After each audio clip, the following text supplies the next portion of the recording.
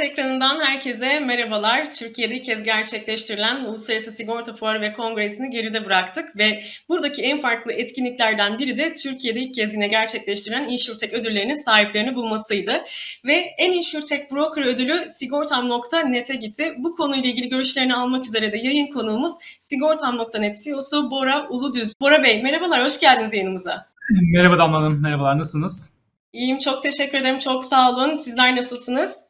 Çok iyiyiz, teşekkür ederim. Ki katılımınızdan ötürü çok teşekkür ediyorum vakit ayırdığınız için. Çok önemli bir fuarı geride bıraktık. Bence sektörün de e, aslında uzun zamandır bir araya gelemediği bir dönemdi. E, ve orada biz medya tarafında da yer aldığımız için gördük ki gerçekten sektör ve sektör paydaşları birbirlerini çok özlemişler. E, burada bir araya gelip konuşma fırsatı da doğmuş oldu. Türkiye'de ilk kez gerçekleştirilen bu fuarla ilgili ilk olarak gözlemleriniz ve yorumlarınız nelerdir? Sigorta pazarının gelişmesi açısından sektöre sizce nasıl bir katkı sağlayacak? Öncelikle e, emeğe geçen herkese teşekkür etmek istiyorum. E, sigorta sektörü için çok değerli bir etkinlik oldu. E, takip ettiğim kadarıyla çok ciddi bir katılım gerçekleşti Antalya'da. Gerek sigorta şirketleri çok üst düzeyde, e, gerek dağıtım kanalları, gerek bu aslında ekosistemin diğer parçaları açısından çok güzel katılım vardı. Bu insanların bir araya gelmesi, e, sektörün hem sorunlarını hem fırsatlarını değerlendiriyor olması birlikte çok çok önemli. E, o yüzden güzel bir etkinlik oldu. Önümüzdeki yıllarda daha, daha da iyi gideceğini e, düşünüyorum. E, tabii ki benim en çok ilgimi çeken e, seanslardan bir tanesi InsurTech ile ilgili e, seans oldu. Yanlış yorumlamıyorsam katılım çok yüksek gerçekleşti e, InsurTech seansından. Hem fiziksel katılım olarak hem de e, internetten online izlenme rakamları olarak çok çok katılım yüksekti. Hı hı. Bu da şu açıdan aslında bizi heyecanlandırıyor. E, Türkiye'de sigorta sektörünün dijitalleşme anlamında daha da ileriye gitme konusunda hazır olduğunu, e, bu konuda istek olduğunu, ilgi olduğunu e, gösteren bir gelişme. E, o yüzden e, InsurTech başta olmak üzere e, o konuda da emeğe geçen herkese teşekkürlerimi sunmak istiyorum. Tabii ki e, sigorta sektörü ve aracılar için dijitalleşme ve e, inovatif yaklaşımlar müşteri memnuniyeti ve maliyet yönetimi noktasında e, önemli e, diyebiliriz. Sigortam.net olarak dijitalleşmeye yaklaşımınız nedir ve bu alanda yapmış olduğunuz yatırımlar nelerdir? Söylediğiniz gibi dijitalleşme çok daha artık e, kullanılan ve çok daha önem verilen bir kavram. E, Birçok şirket önemli yatırımlar yapıyor dijitalleşmeye ve aslında e, stratejisinin içine oturtmaya çalışıyor e, dijitalleşmeyi. Bizim için dijitalleşme bizim stratejimizin merkezinde, kalbinde. Yani bizim aslında varoluş sebebimiz dijitalleşme. Ee, Türkiye'nin ilk ve en büyük insurtech şirketiyiz. Ee, biliyorsunuz 22 yıldır e, bu alanda hizmet veriyoruz ve yatırımlarımızı her gün daha da arttırmaya çalışıyoruz bu alanda. Müşteriye daha fazla değer yaratmak, daha iyi hizmetler sunabilmek için. 2021 bu açıdan önemli bir seneydi bizim için. Çok fazla yatırım yaptığımız bir e, seneydi. 2022'de bunlar devam edecek. E, yatırım derken neleri kastediyorum? Nitelikli iş gücü tarafında çok önemli yatırımlar yaptık biz 2021 yılında. Nitelikli iş gücü derken kastettiğim teknoloji olsun, tasarım olsun, büyüme, pazarlama gibi alanlarda ekibimize 150'den fazla arkadaş katıldı. Ee, teknoloji ekibimizi 2-3 katına çıkarttık bir sene içinde. Çok önemli yatırımlar bunlar ve bizi çok daha ileri taşıyacak, aslında vizyonumuza ulaştıracak parçalar olacak. Öte yandan teknoloji altyapıları açısından önemli yatırımlar yaptık. Ee, yine çok daha aslında burayı esnek bir platform haline getirmek, müşteriye çok daha güzel deneyimler sunmak için e, yaptığımız önemli yatırımlar var. E, 2022 yılında bunlar e, tam gaz devam ediyor olacak Sigortamet tarafında. E, bizim şöyle bir vizyonumuz var. Biz müşterinin şampiyonu olmak istiyoruz Sigortamet olarak. Ne demek bu?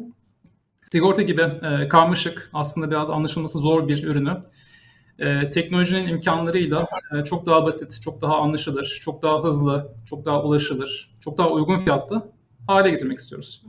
Dolayısıyla bu sektörün sunabileceği e, imkanların en iyisini müşterilere yansıtmak üzere e, çalışan bir şirketiz.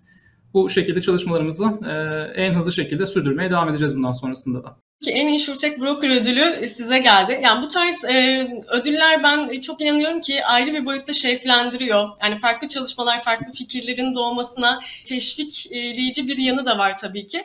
E, bu ödülle ilgili özellikle duygu ve düşüncelerinizi alabilir miyim? Öncelikle şey, bizi tabii ki çok gururlandıran, çok mutlu eden bir ödül. Ee, ödülün aslında adı itibariyle InsurTech ödülü olması bizi çok mutlu ediyor. Çünkü bizim çok önem verdiğimiz bir alan InsurTech.